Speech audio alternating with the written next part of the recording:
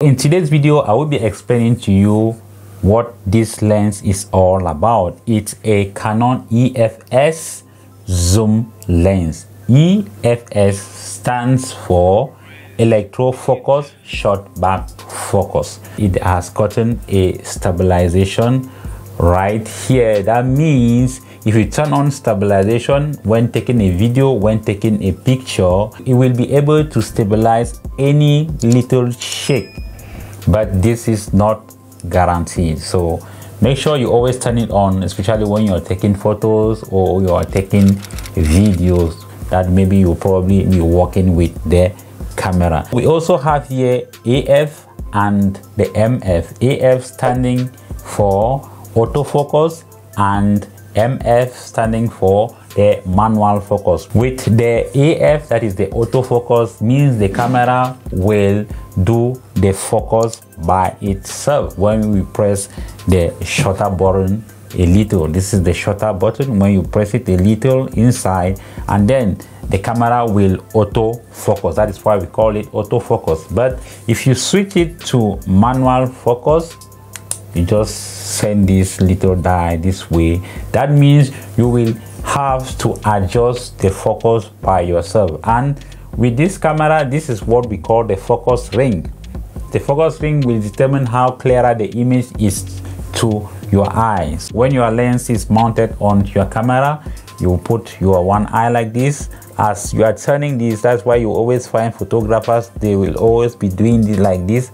They are looking for the right focus. So if you are turning it left and the image is maybe becoming more and more blurry it means you have to rotate the opposite direction. So we call this one the focus ring and you will only use it when you are using the manual focus. We also have here the zoom ring. When you turn it like this you see that this lens is zooming zooming in zooming out. So with this zoom lens you will be able to take a photo from a far away distance. So you don't have to go closer to that subject or that object as compared to other lenses.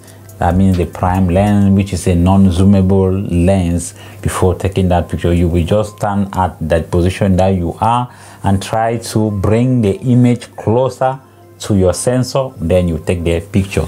This is a zoom lens. That means it has what we call the focal length. And the focal length here is 55 to 250 millimeters. Whenever you zoom you will get what we call the selected focal length. So this icon like a small white line is what we call the actual focal length. That means if you read the value that is closer to it, you will get, we have here 200 millimeters. That means you have zoomed this lens to up to 200 millimeters. Or when it is completely inside like this, it means it is at its lowest, which is 55 when it goes too high it means it is at 250 because this lens is between 55 to 250 millimeters.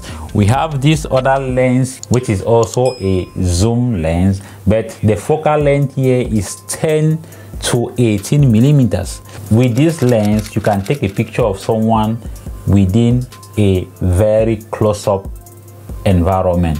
Whereas with this one you can't because you need to be further away from that subject before you can take such a photo. That's why we have a variety of focal length a variety of lenses and before you go out means you will have to carry this one if you will be shooting in a smaller room like what i'm having here. But if you are going to do like bird photography or animal photography or wildlife photography you will probably need this zoom lens. Why this zoom lens? Because the focal length is quite long 250 you will be able to take a photo of a lion further away that is what we are trying to explain.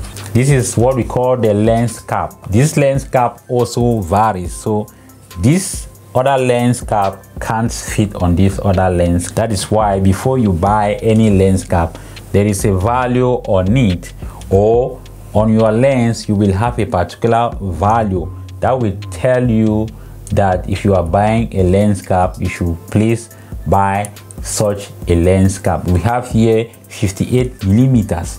That means this lens cap should be 58 millimeters and it is also written there 58 millimeters.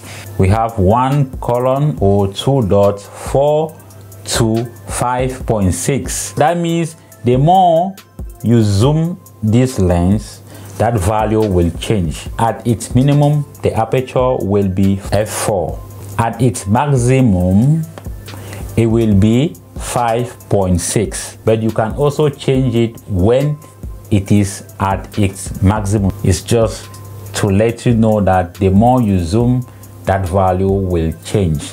It's not as fixed as this other lens which is f4 so the minimum is f4 the maximum will also be f4 that means if you are zooming it will stay at that level unless you change it manually. So that is what we are trying to explain here. Stm here means stepper motors. This one you covered their lens from the bottom to prevent dirt from entering into the sensor. We also have the lens hood.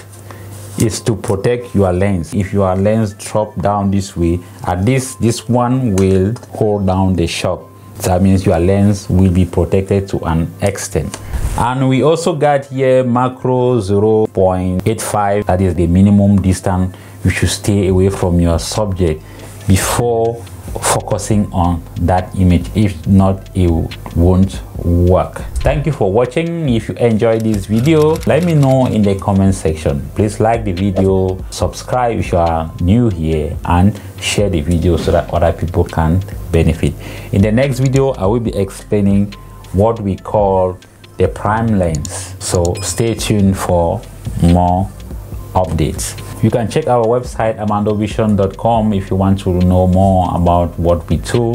Thank you for watching and i will see you in the next video. Bye bye for now